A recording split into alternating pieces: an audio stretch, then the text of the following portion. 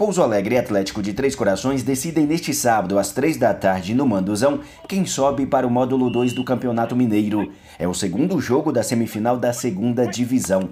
Quem passar estará na próxima divisão de 2020. Nós conversamos com o técnico do Pouso Alegre. Rogério Henrique diz que será o jogo da vida deles. O treinador revela que os 90 minutos que restam parecem uma eternidade. Falta pouco, mas esse pouco são 90 minutos. Né? 90 minutos, às vezes ele passa rápido para quem está lá fora, para quem está na arquibancada, mas para nós aqui é uma eternidade. Né? A gente está se preparando aí para o nosso jogo da vida e um jogo que no mínimo para nós vai ter 6, 7 horas de duração. É, o tempo não passa para a gente que fica aqui dentro. E nós precisamos preparar para a guerra. É o que nós estamos fazendo. O Pouso Alegre treinou todos os dias da semana. Nesta quinta e sexta, os treinos foram fechados para a imprensa. Apenas o início das atividades pôde ser mostrado.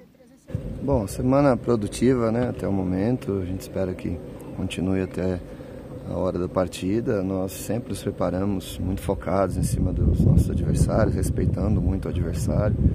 É, Trata-se de um grande jogo, é um jogo muito importante para as nossas carreiras muito importante para a cidade também, para o Pouso Alegre Futebol Clube, para os seus torcedores. Então a gente entende a nossa responsabilidade e a gente tem passado isso para os atletas todos os dias. Eles estão bastante focados e é, sabedores dessa responsabilidade. O Pouso Alegre já fez nove jogos na segunda divisão desse ano.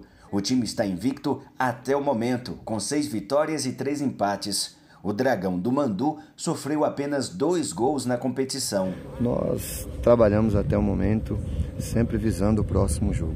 O que já foi, já passou, não faz mais diferença nenhuma né, para a próxima partida. Então, essa questão de invencibilidade, o que já foi feito, não entra em campo aqui no final de semana. Né? A gente precisa se preparar bem, é o que a gente tem feito, estar bastante concentrados, contar com o apoio do nosso torcedor do começo até o final para nos empurrar, para que a gente possa fazer um bom resultado aqui no final de semana e merecer o acesso.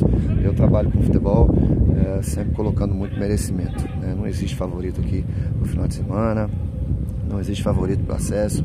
O acesso vai ser daquele que merecer. Espero que a gente possa fazer por onde. Né? Deus nos abençoe e que a gente saia daqui com um resultado positivo.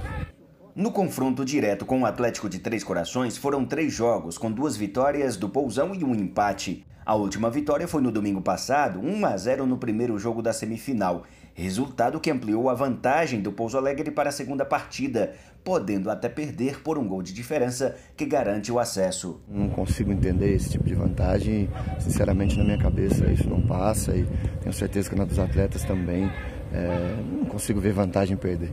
A gente trabalha sempre para vencer, trabalha respeitando o adversário, trabalha estudando o adversário, trabalha entendendo que todo jogo dessa divisão é uma pedreira, é, todo jogo dessa divisão é pegado. Né? Não vai ser diferente disso aqui no sábado. O Atlético Três Corações tem um grande, um grande plantel, tem feito uma excelente competição, merece estar aí nas semifinais brigando. E para mim o jogo é aberto, o jogo está em aberto.